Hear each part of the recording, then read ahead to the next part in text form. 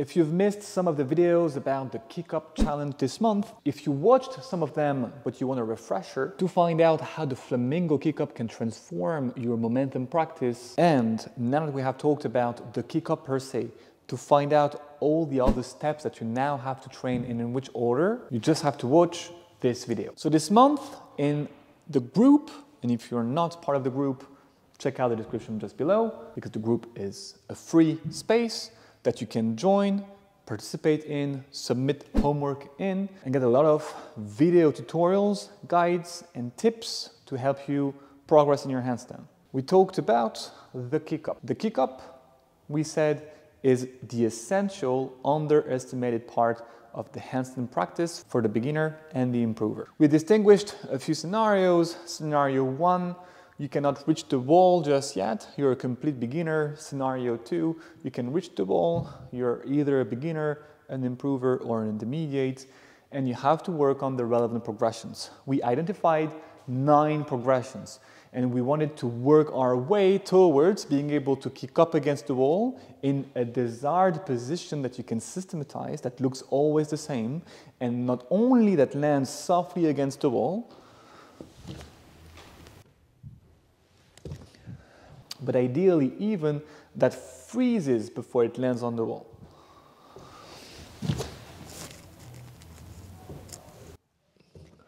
One of the most common mistakes I see people do is skip the kick up parts, not dedicate any time to improving that when they cannot produce this freezing up yet on demand. And that's a big mistake because if you do not have this freezing up and then you know a bit more about handstands, but you try to apply this to the freestanding area, then you always are going to end up with a kick up that is either too powerful or not powerful enough. And you're gonna have to wait until the stars align to finally find your kick up. And your consistency rate, therefore, is going to stagnate. It will look like this. Sometimes, imagine that you have a die that you're rolling and you need to make a six to get your handstand and anything between one and five gets you an overshot or an undershot kick up.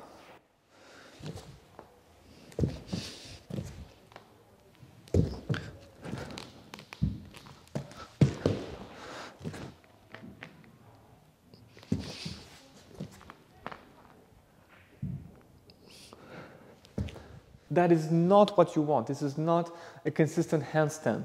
This is a handstand that works sometimes. You want a handstand that works all the time. A handstand in which, if you roll a two, a three, a four, a five, or a six, you have a handstand that you can hold.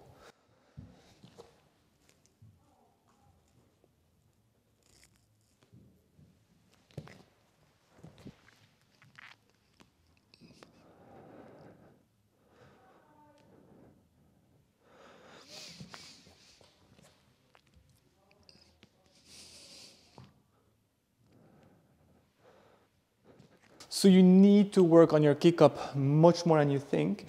And the suggestion was you warm up, you include some priming drills in your warm up that will make this part easier as well as all the other parts that you plan on working on that day. And you dedicate five to 10 minutes just on improving your kick up. Then, next point, momentum.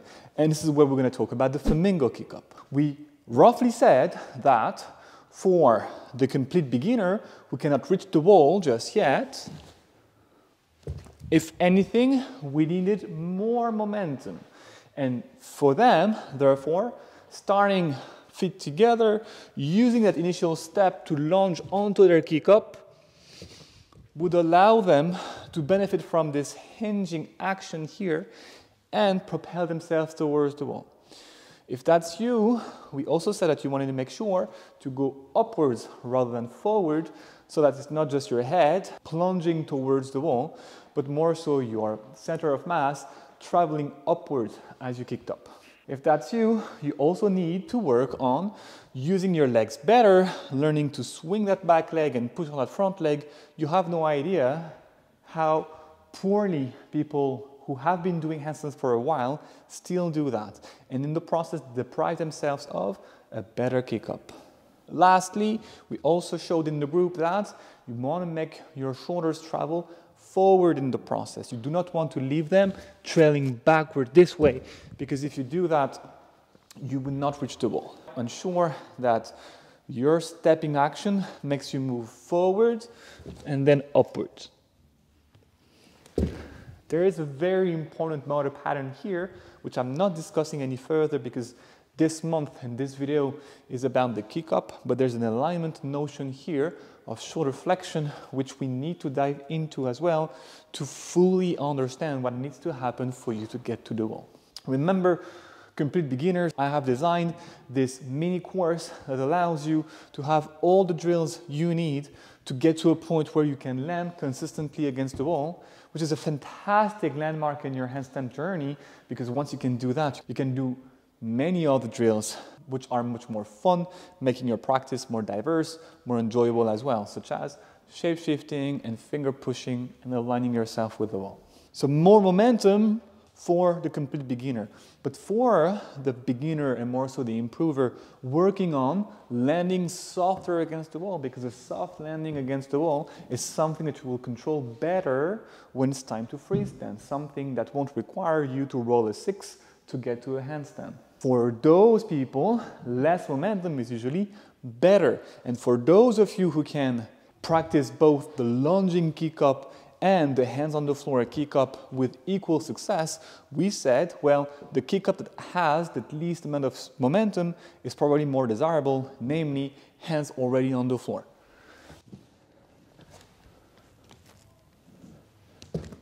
But we can continue that thread further.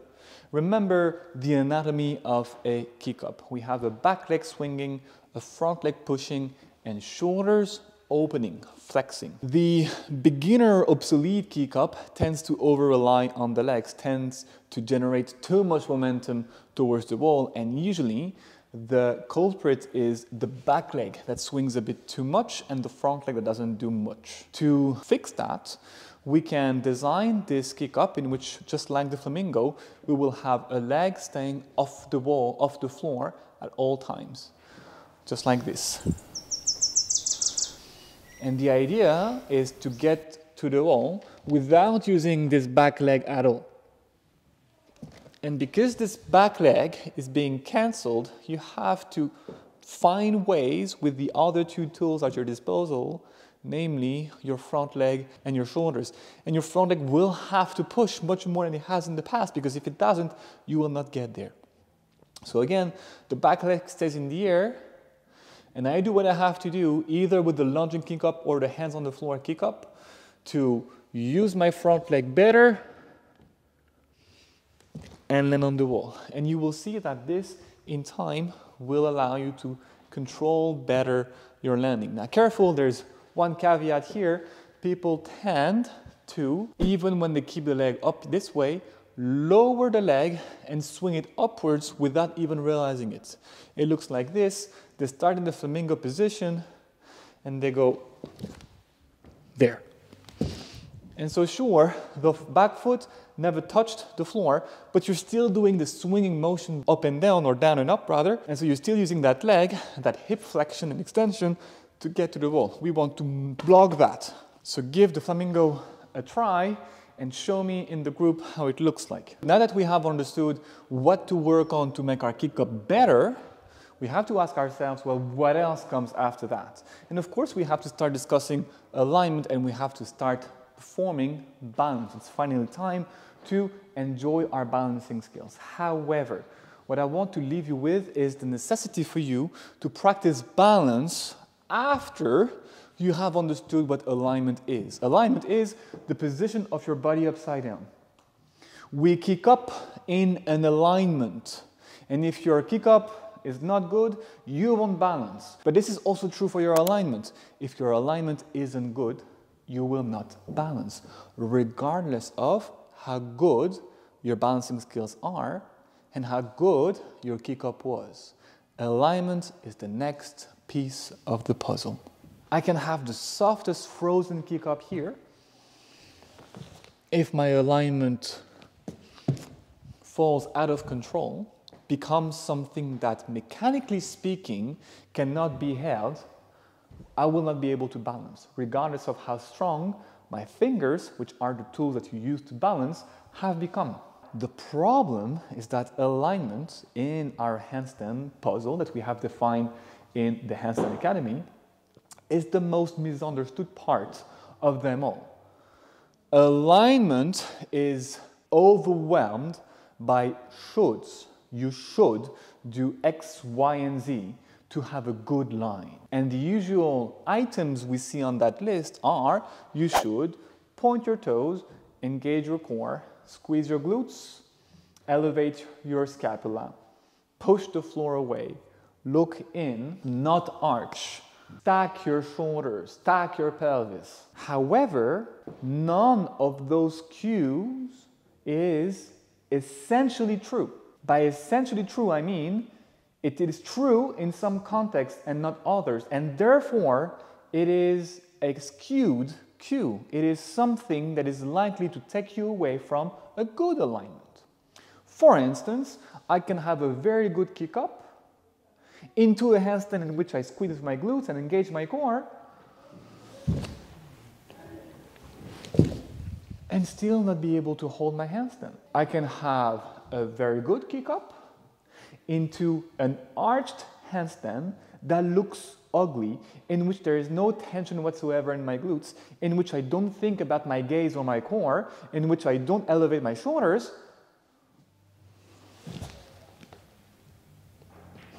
and still hold it. And I can even bend a bit the elbows here to make things worse. And no pointed toe inside. What's that about?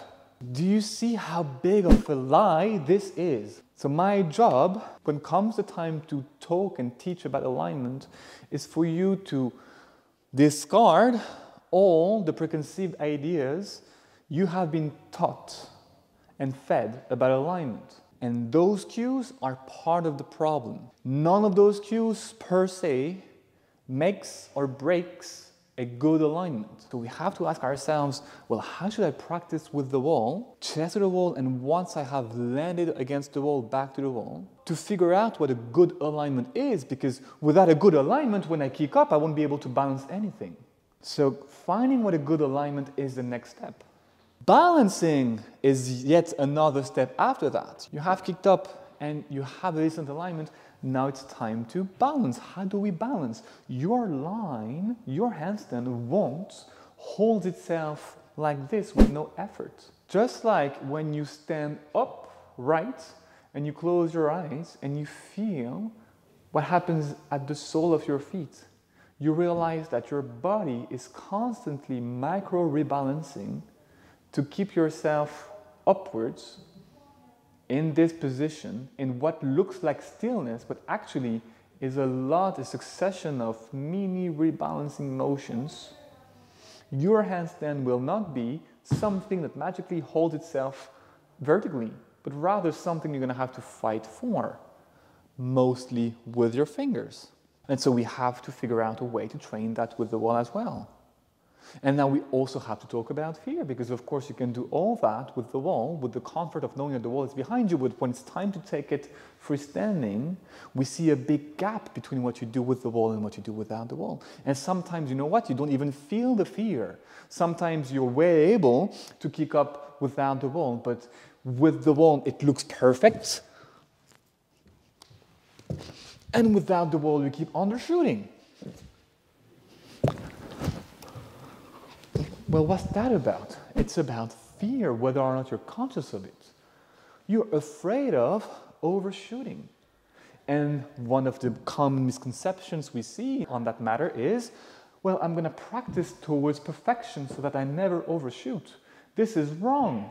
You need to be comfortable making mistakes in handstands. You need to feel so safe that regardless of the mistake you may make, you know that you will be safe. Only at that price will your nervous system allow you to kick up and hold the handstand. And so those are the next steps. And if I was to prioritize them, I would say that alignment is the next and fear is yet the next. And balance comes after that. And in the process, we also have to talk ideally about strength, about body silence, about body awareness, and about mobility, which is a vast program, but hopefully you have understood through those videos and the future and the previous ones. How detailed and nuanced this beautiful practice of handstands can be.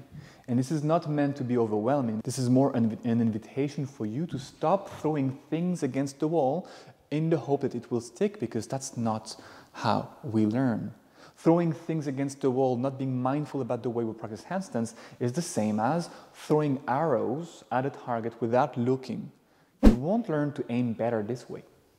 You have to look at what you're doing and be mindful of every single step in the process to improve the weak links and get better and better. If that makes sense to you, then the curriculum of my six week coaching program called The Rocket is for you. The Rocket is the most detailed, comprehensive curriculum about hand balancing for the beginner and the improver that you can find online.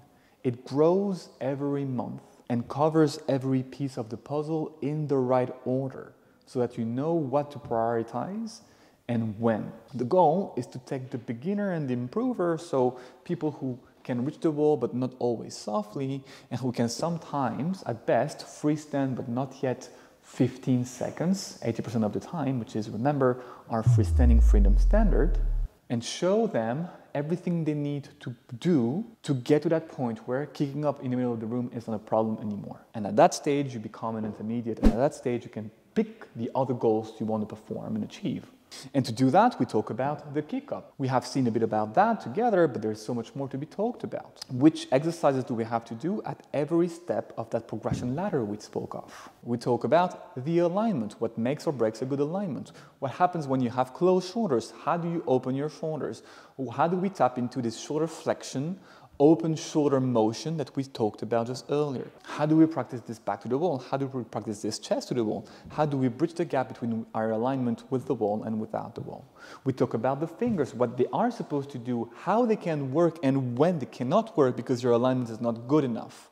We talk about the other corrections you can perform with your body when your fingers are not strong enough to correct just yet. We talk about the stack, where your pelvis should be in space, where your shoulders should be in space, and why. It's all about the mechanical reality of it. It's not about how my body looks like when I hold a handstand. It's about how your body looks like when you hold something, when you're getting closer to it. We talk about fear because, of course, we want to be able to get rid of that wall. And for that, we have to face the void. We have to face the eventuality of falling forward and so we have to get better at expanding our comfort zone in such a way that being falling forward is not scary anymore. And for that, we also have to work on bailing and developing a systematic, efficient, safe way to bail out of a handstand. We talk about body silence and all the micro disruptions you don't even notice right now, which are likely to take you off balance tomorrow. And we talk about mobility and strength and every other pillars that are relevant to you to bring you to that freestanding freedom standard. It's a curriculum that you have lifetime access to. But on top of that, I want to make sure that you receive the most personalized feedback possible. And that's why I work individually with you every single week, meaning every week you go through the program of the week, you go through the lectures, you perform the drills of the homework, and you send me homework. And I review that homework every single week on a specific chosen day and I send you feedback and I show you on screen in your own body what works and what doesn't. And I will personalize, when need be, the curriculum to adapt it to your needs. Maybe you're a bit stronger than your fellow hand balancer. Maybe your body needs different things. Maybe your mobility is not the same as your neighbor. And all this calls for slightly different drills. And the Rocket is the most tailor made, personalized program out there. We work with you, and that's why there's only a handful of spots per group. On top of that, you have access to a library database that allows you to pick and choose drills and include them in your training sessions, as well as recording of past classes that you can simply press play on and follow along. You have access to the Secret Podcast, which is a series of specific podcast episodes that are only available to the students and that allow you to keep rehearsing what you learn throughout the course to really digest everything. And you also receive many different bonuses, such as tracking sheets, recaps to refresh your memory on concepts we, we will see together, and bonus modules that cover how to walk on your hands, how to perform the crow, and how to include handstands in different dynamic movement contexts. Now the next cohort starts in January, and again, as I was saying, there's only so many spots simultaneously because I work individually with every single student. So if that's something that resonates with you, click on the link. On that note, talk to you soon.